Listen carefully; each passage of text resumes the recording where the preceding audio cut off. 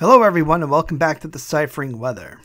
In today's video we are tracking the remnants of Milton, Leslie, and 94L out by the Cabo Verde Islands for possible development into an, a storm next week, as well as looking at the Western Caribbean as well.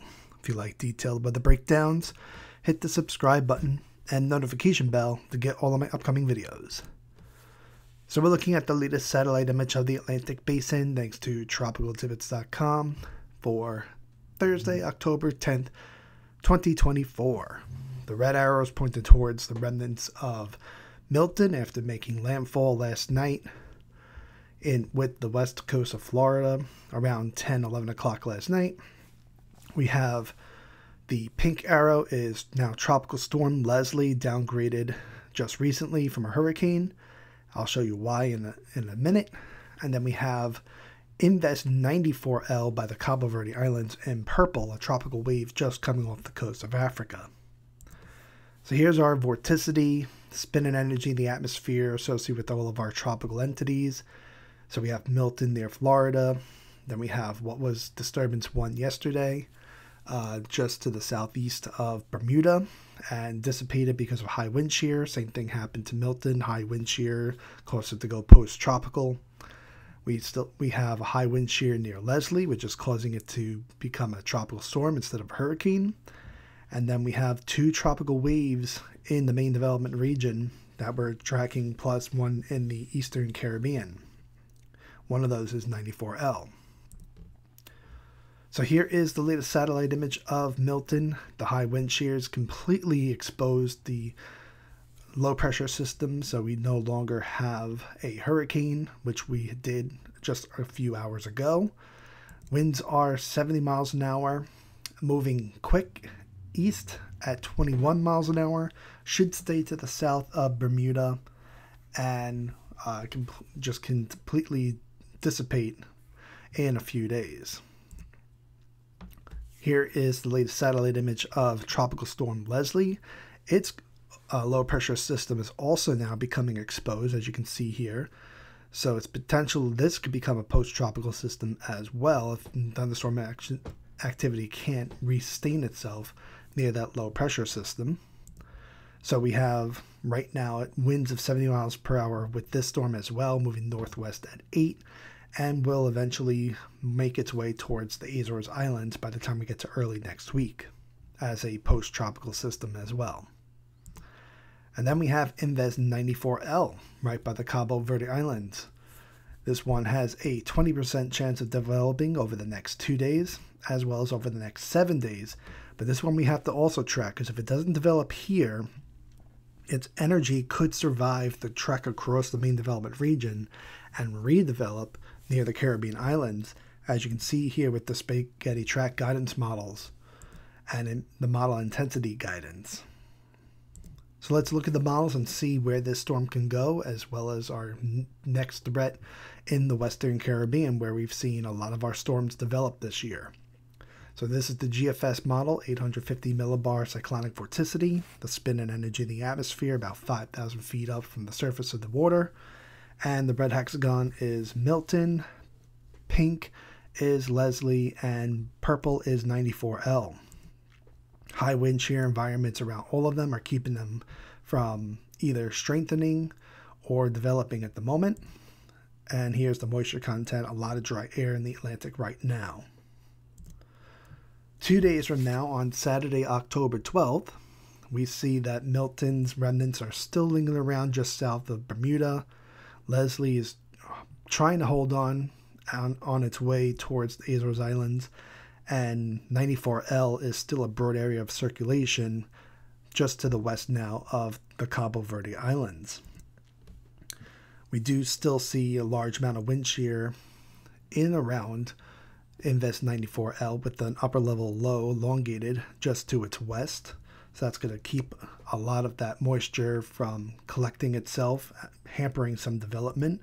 As you can see here, dry air infusing into that low pressure system with a lot of its moisture still backed by Africa. But if you look in the Western Caribbean and Southern Caribbean, we have the Central American gyra really cranking up the moisture once more and all that moisture does take time to consolidate, but this model wants to do it pretty quickly. As you can see, by the time we get to day 5, we start to see a vorticity max forming just to the east of Nicaragua, which I've highlighted by our black hexagon. We have our 94L moving through the middle of the main development region in purple. And then we have another tropical wave coming off the coast of Africa with the vorticity max in blue.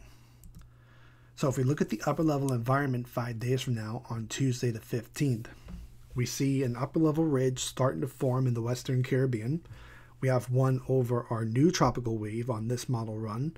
And then we have an upper level low just to the west of 94L. So that will hamper its development as it continues moving westward because that's going to have high wind shear environments. But the other two will start to see decreasing wind shear so that's going to allow their moisture bubbles to maintain themselves a little bit more. Then we get to a week from now, next Thursday, October 17th, and we, now we start to see the formation of a, another tropical storm potentially in the Western Caribbean by our black hexagon.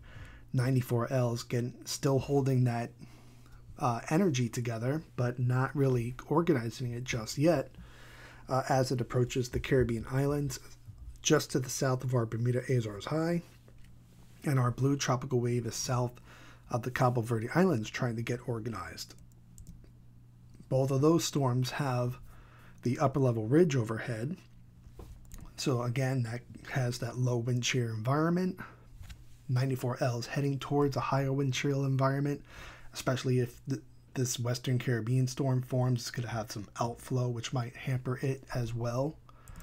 But it's maintaining some moisture as it approaches the Caribbean. And once it does that, potentially we see the vorticity concentrate. And depending on the track of the storm, uh, if it goes over the islands or not, will determine if that forms 10 days from now on Sunday, October 20th, where we do see maybe our next Western Caribbean storm also not only forming near Central America, but crossing the Yucatan Peninsula into the Gulf of Mexico.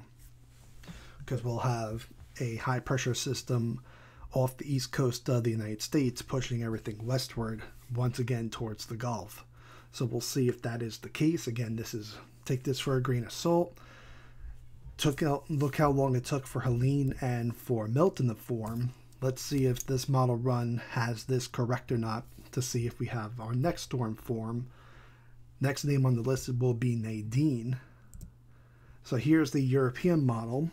You can track 94L moving across the main development region. Has chances in, along the way of developing, but really doesn't do so.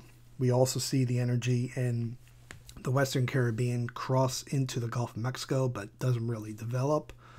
So we'll keep an eye on it. Right now, the GFS is being bullish.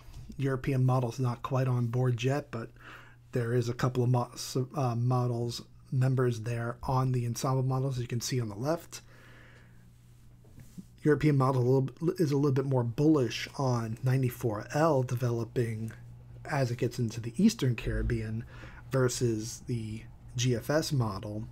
And then we'll keep an eye on that blue tropical wave coming off the coast of Africa in about a week's time uh, pretty soon that's going to start, those tropical waves will start to wane as that season's coming to an end near the Cabo Verde Islands. And all of our focus should be on the Western Caribbean and Gulf of Mexico uh, from this point going, from the middle of October going forward. So we'll keep an eye on it just in case, though. So Helene is now post tropical, heading out into the Atlantic, should stay south of Bermuda. Leslie is going to curve towards the Azores Islands, should be post tropical by the time it gets there. 94L, if it doesn't develop near the Cabo Verde Islands, could redevelop again near the Caribbean Islands, so we'll keep an eye on this one. And then we have a couple of tropical waves interacting with the Central American gyra. Let's see if that sparks our next system as the models are suggesting. Next name on the list is Nadine. If all three of these entities were to develop, as we see on the models, we could see also Oscar and Patty. As a reminder, we have super thanks available on deciphering weather. So if you'd like to donate to the channel, please go down to the heart button where it says thanks. Thank you for watching this video. If you liked it, please hit the like button and leave a comment. Please share this video with your family and friends on social media. And if you're new and like detailed weather breakdowns, hit the subscribe button and notification bell to get all of my upcoming videos. Thank you and have a great day.